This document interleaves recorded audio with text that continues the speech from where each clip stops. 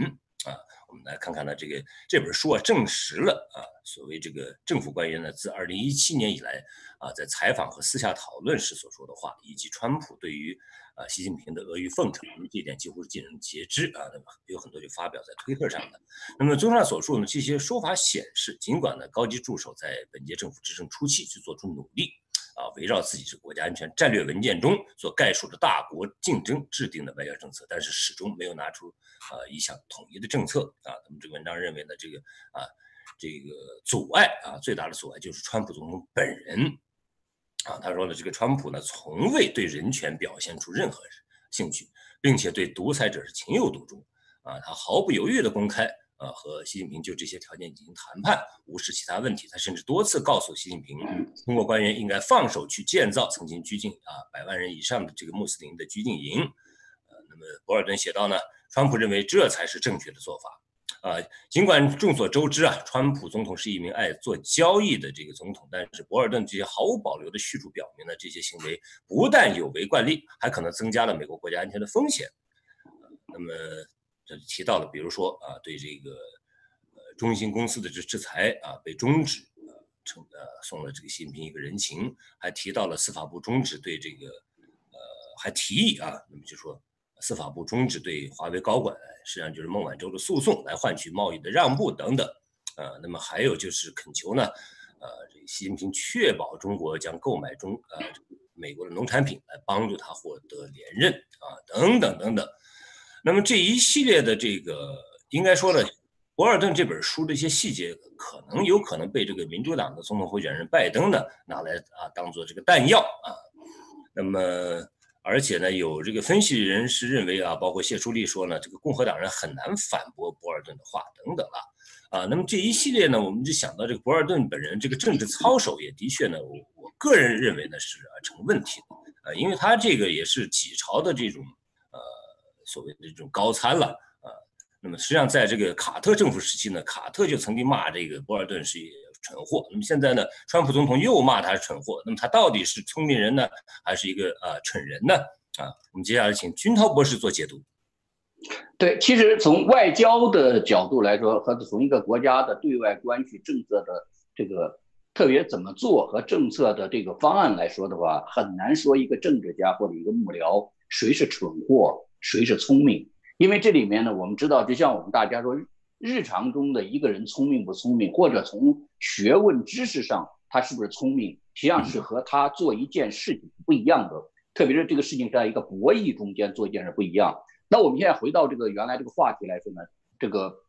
第一呢，我觉得我相信博尔顿描述这些事实的细节应该是真实的，八九不离十。但是呢，博尔顿对这些事情的。建构出来的一个图像呢，这个我觉得呢，第一不准确，第二不完整，第三从动态看呢，很可能它不正确。那为什么这么说呢？就是我我自己呢，从川普总统一登台时候，我也就观察他，开始觉得很不舒服，现在呢是越看就越顺眼了。顺眼不是说我赞成的一些做法，而是说呢，我越来越在一个动态过程中，我觉得越来越能够理解在说什么。比如川普总统总是说。民主党啊，媒体在歪曲他，说的不是事实，在造谣，在抹黑他。那我在想，每件事情都是真的，你干嘛要在抹黑造谣你呢？后来我就觉得，其实，在博尔顿这本书里头，和川普总统的这个互相互怼啊，这个差距中，我们可以找到一个理解的线索。这个也是我们理解未来中美关系的一条线索。那么，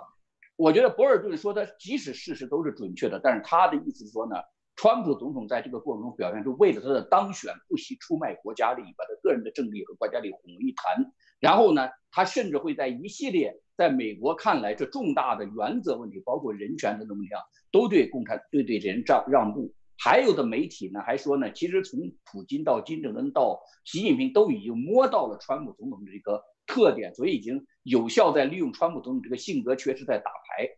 但是我们看现实啊。其实不是这样的。川普总统呢，在自他当选以来，中美关系实际上造就出的情势，从来没有像这样今天这样对美国这么好。而且，其实，在包括在对俄国、在对北韩来说，其实情势总的来说都是对美国是好的。因为过去呢，看起来两国呢好像这个风是有风有浪，但是好像两国关系在发展。但实际上呢，美国最担心的问题都是在持续恶化之中。但是在川普总统这个留言，你可以看第一次看到美国有可能扭转这个继续恶化的势头。那这个为什么能够做到这一点？我觉得我们需要对川普总统来说这个博尔顿的观察做另外一番表述，那就需要加上一些东西。这些东西我觉得博尔顿这个书中的最大的缺失，我觉得两点：第一，川普总统为什么要当这个总统？第二，川普总统如果为了实现他的目标，他要做些什么？我们应该说，川普总统这个政治素人，其实他对国家的利益、对于美国的安全、对于美国的外交领域中的一些基本的原则、长期惯例中形成的原则，以及美国对国际社会已经有的庄重承诺，这个承诺是两次大战中间用成千上万美国人的鲜血，以及后来的全世界呀跟美国站在一起的人用他们的国家利益做赌注，形成的这样一种互信互信。这个川普总统是不知道的。那么，川普总统知道就是一点，在他从在他从他因为他是个成功的商人嘛，在经济活动领域中和社会中，他发现美国人民在一个全球化中间，好像美国衰落了。从他直接感受到美国老百姓的感受来说，这个和专家的意见是不一样。专家可以举出数字啊，举出很多方面证明美国是全球化最大受益者，而且美国确确实实赢得了很多的这个自己的利益。但是呢，他所感受到就是那些我们所说的袖带州啊等那些老百姓。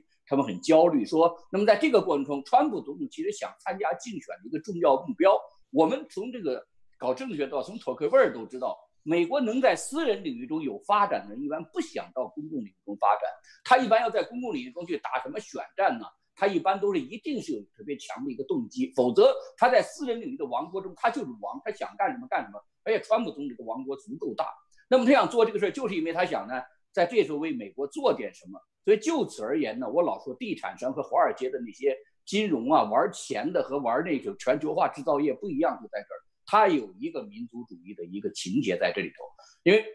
这样的话，我觉得川普总统实际上在某种上他是想为美国呢做一个事情，这个事情就是要把美国的经济搞起来，让这些这个美国人他看到这些不幸的美国人在能够对美国有信心，能够在有一个就是基本的生活上还能够继续能够有个持续好转。那么他当时锁定的就是一般的很多美国的民粹主义的感受，这些感受就是这个美国之所以经济上衰呢，就是因为它的制造业被和它的市场被偷走了、被抢走了或者被骗走了，而且呢，川普就认为呢，这都是过去总统的缺失，于是他出来选举。那么他当选之后呢？他首先瞄准的其实是中国，但是他一开始虽然没拿中国开刀，先拿的还是什么墨西哥呀，拿这些国家开刀，但他实际上一开始他就盯的就是中国。然后呢，他开始使出浑身的解数对付中国。所以我说呢，第一个缺失呢，就是博尔顿的书中他缺失了川普当选的动机。他当总统不是简单为了当总统，他是想做一件事儿。这件事儿其实说大了高上高大上一些是民族主义，是对美国的这种热爱，对美国人民的热爱；说低了呢，实际上就是他觉得呢，对美国不忿，他觉得他妈这个凭什么呀，对吧？美国就帮着那些国家 发展，对他觉得不忿。站在一个美国人角度，一个普通美国人角度来说，他身上有很强的普通美国人的一些素质，那种冒险呐，那种就是好斗啊，对吧？那么。现在呢，他回过，然后呢，他第二点，我觉得博尔顿呢没有说，就是川普总统尽管呢，他是一个，但是他这个人当选之后，因为作为政治素人，他对过去的国际政治的一些外交惯例不懂的话，反倒让他可以施展一切手段。没错，这个你比如说博尔顿说他什么是这个知知识贫乏哈，包括什么芬兰是不是俄罗斯的一部分，呃，日俄战争等等，但他不管你，就是他不知道。对呀，这，但是他为了这个，他可以不择手段，不择手段有两个。负面上来说呢，把美国原来的国际承诺全推翻了。他都他不是想推翻，他是不懂，的根本就不知道。他觉得那些东西就是给美国背了包袱，套了枷锁，让美国吃亏，对吧？美国衰败就在这儿，这是他的，这是民粹主义的感受。那么，当然专家分析不是这样的。我其实在这方面，我倾向于专家的这个分析。但是这个结果，我们看结果的话，那么他他就不择手段，那什么牌都往外打的。好的方面就是呢。过去呢，建制派啊，这个我想说，不光是民主党，其实共和党建制派，那布什家族对他的这种讨厌和反感，都超过了民主党总统，对吧？那么就他们这个建制派的这些呢，看这个手段呢，谨慎不能采取的手段，川普总统不管，他全拿出来，对吧？如果华为有效，我就把华为拿出来；如果要是就博尔顿光说了他愿意牺牲这些，他还没看到必要时候川普总统比谁都果断的行使这个，对吧？彭阳会这边就要会了，他把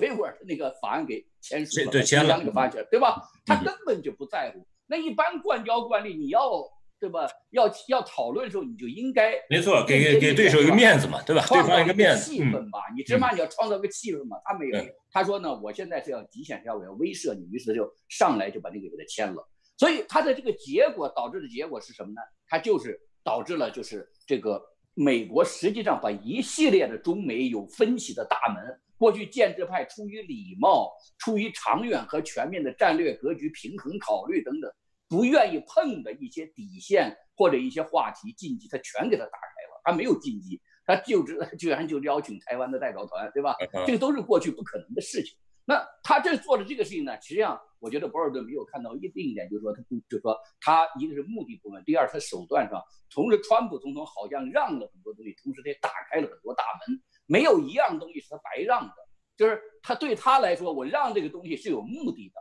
这个。那么这这是第二，第三个呢？我觉得呢，我们就要看到呢一个比较完整的一个川普的描述呢，就应该可以说呢，川普呢本来是为了美国的利益，想像一个就是想采取一个斗士的方式跳进国际政中，带着美国以他的国家实力，逼着就不顾外交礼节和过去国际社会美国的承诺，那么逼着其他的国家对美国让步，在贸易上让步，他本来就是个贸易标，那你要让了步，其他东西我们都好谈，对吧？我都可以，你尊重你。但是你要不让步，我就把所有我能守的手段全都使上。那这样的话，那么在这个过程中间，实际上他在极限施压的过程打开了很多的机会大门之后，他也在不断学习。比如关于疫情，对吧？他原来光关心贸易，一度在疫情给他压力很大的时候，他说了，其实我达成了一个很棒的协议，但是我现在对他不那么关心了。他现在更关心疫情，就是说他在学习。我们也知道，其实美国总统啊，素人也比较多，比如像克林顿呐，这些虽然政治上老手在当选总统中，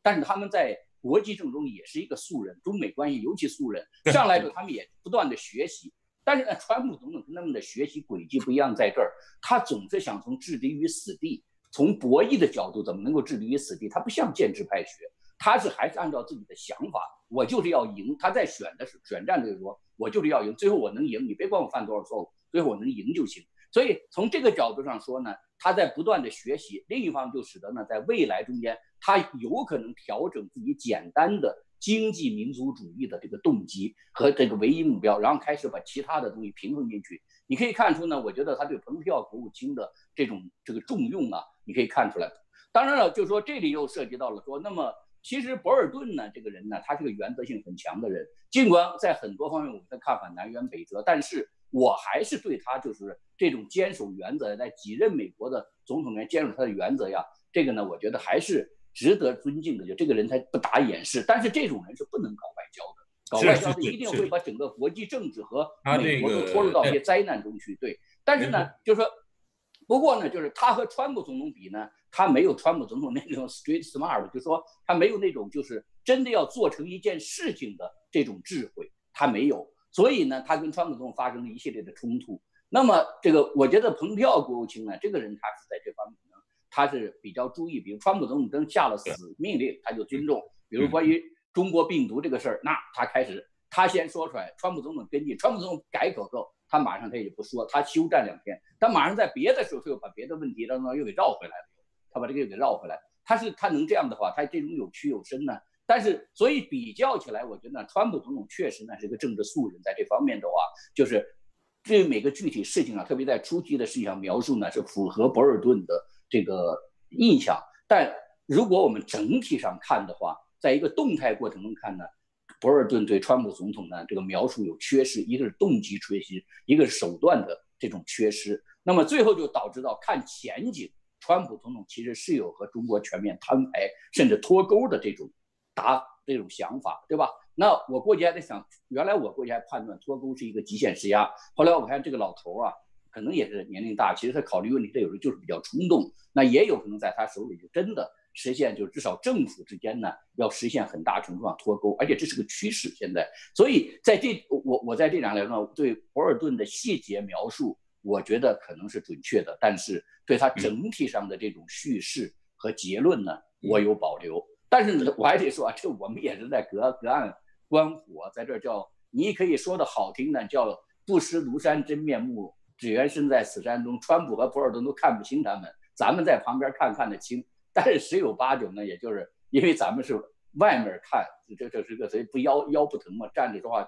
呃，坐着说话腰不疼，所以呢。我觉得呢，也可能我们不对。不过反正在这里讨论嘛，大家就是打开一个思想的空间，考虑各种可能性。嗯，好吧。啊，你刚才说到这个，他的确是一个呃，在哪儿呢？他在任何一届政府啊，包括他效力的这个里根啊、老布什啊、小布什啊，包括现在这个川普，都是和啊大家处不来。嗯，他这个回忆的录当中就说到了啊，比如说他跟这个克林顿夫妇呢都是同班同学等等，那么和这个。呃，都属于呢，就是属于这种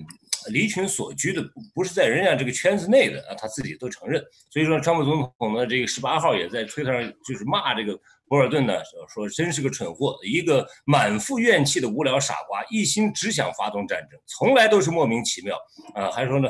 这个后悔自己没早点把他炒了啊，包括就是在这个呃和和这个朝鲜的这个呃那次啊，尤其是一九年七月份啊，就去年七月。呃，把他派到这个呃蒙古去啊，当时就是已经是让人感觉到他呃他可能啊有这种失势的这种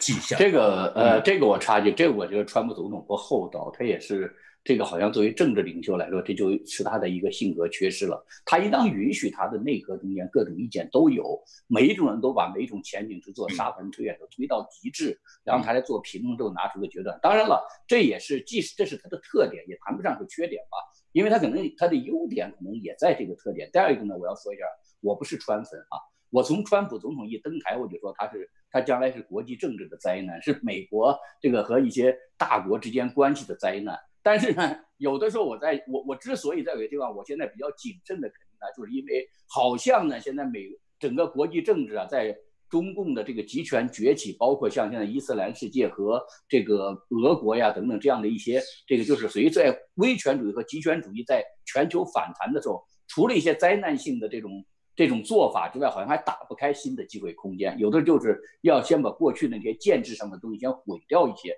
能打开空间。不过这个呢是有风险的，这个方面我不做结论，我只是想说呢，其实我不是川普，我只是川粉嘛，我只是说呢，这个在很多方面我也不赞成他这种做法。可是呢，就是你让我客观描述他，我觉得博尔登呢，实际上是一个比他还要极端的人。对，至少川普总统在目的和手段上比他还要还要灵活得多。呃，而且我观我的观察就是说，我感觉呢，川普总统上台之后，他的确呢也是内阁当中也网罗了一些这种鹰派的这些啊人士，包括博尔顿啊，包括这个呃这个纳瓦罗呀等等。那么这些人，但是似乎这些人呢，总是让我们感觉到还是处于一个相对呃。边缘的这么这么一种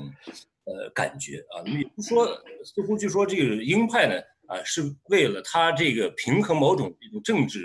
呃这个呃这个版图的这样的一种装饰品或者是一个摆设呃，因为我们看到实际上他他这些人的话，这些人的这种表态呢，也都是啊，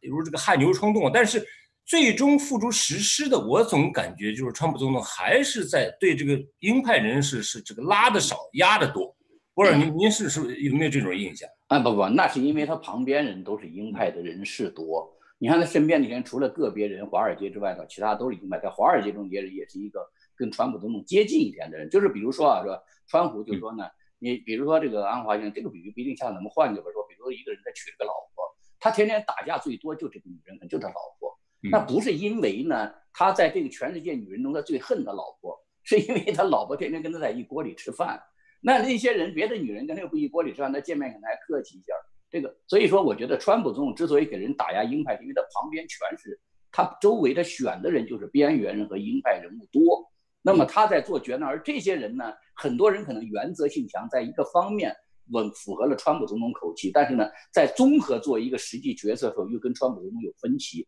那川普总统最后总是以扇他们耳刮的方式就停止他们。凡是不想被他扇耳刮人，就都离他而去，不管跟他有多大的这种吻合度。但是能留下来的人呢，其实都是一些你扇我我就扇了，只要你总统改口，我就不说了，至少我不说了，我不符合你我也不说了。这些人还能在他身边活下来。同时我觉得就是说，这个博尔顿呢，可能也存在一种这对自己定位的这种呃这种错位啊。缺失，因为我觉得川普总统所说所说的这些呢，实际上就是觉得啊，即使说的这些话呢，但是我是坐在一个呃一个国家元首这样一个位置啊，和你的这个位置是不一样的啊。那么你发表你的这个言论，发表你的意见，呃，实际上我觉得川普总统也还是对他还是相当不错，给他十七个月的这种时间啊，他在这个内阁当中的这种啊，就是川普政府内。内部的这种任职的人员当中，也还不算是被开的最最快的一个人啊，应该说还还是对他有相当的这种欣赏和容忍。你你那那你知道，博尔顿批评川普就是把个人利益和国家利益搞混了，个人政利益。那但是博尔顿他会这么认为，他说：“你看博尔顿书里就是觉得一个小混混居然成了美国的总统，在他书下，川普川普总统就是个小混混。”那他居然成了美国国家总统，那我觉得他觉得把这个小混混拿掉，你干嘛又又？当时还欣赏的不得了，嗯，明白吧？他他的意思说，我要我那不为了把小混混拿掉，某个理由嘛？他他觉得这个他不像可能前面总统跟他的分歧是原则分歧，这些这个政见分歧，所以他说那个经常把个人利益和国家利益搞混的人，他觉得这就是一个就是小混混似的，而且做事出尔反尔啊，什么这个拿所有东西都让步，什么人权问题说让步就让步，所以在。他这种，因为博尔顿的这个问题在于就是什么呢？他这个人，我刚才讲的，某种上你说书呆子也行，反正他太坚守自己的原则，在现实中不做任何妥协。这个人要完全按他说也是灾难。所以川普总统罗列了一些跟他的区这个分歧的时候，他说他是战争犯的，就是说他大概属于动不动就要用武力、用外科手术的方式来解决美国和其他国家这些分歧。所以，但是这一点的话，就使得呢，川普总统觉得他有个务实的一面。所以我讲的其实商人不是战争贩子。除了重商主义的这些商人之外，川普总统还不是重商主义的这种人，他还是主张就是说要维护一个中美之间的合理的这么一个关系，就是公平贸易关系，这是他关心的。对，好的，那么谢谢军涛博士啊，刚才发表的这精彩点评。那么接下来我们进入第二个话题啊，第二个话题就是这个彭阳会啊，彭阳会这个结束了啊，那么这个之后呢，双方发表了一些这种。中方有中方的说法，这个美方有美方的说法，但是大概听的意思呢，就是两点：一个中方意思就是说，呃，除了这个国家安全议题之外，什么都可以谈；美方的意思就是说，从现在开始，一切都要对等进行，不管是在啊外交呀、经济呀啊等等各个方面，都会是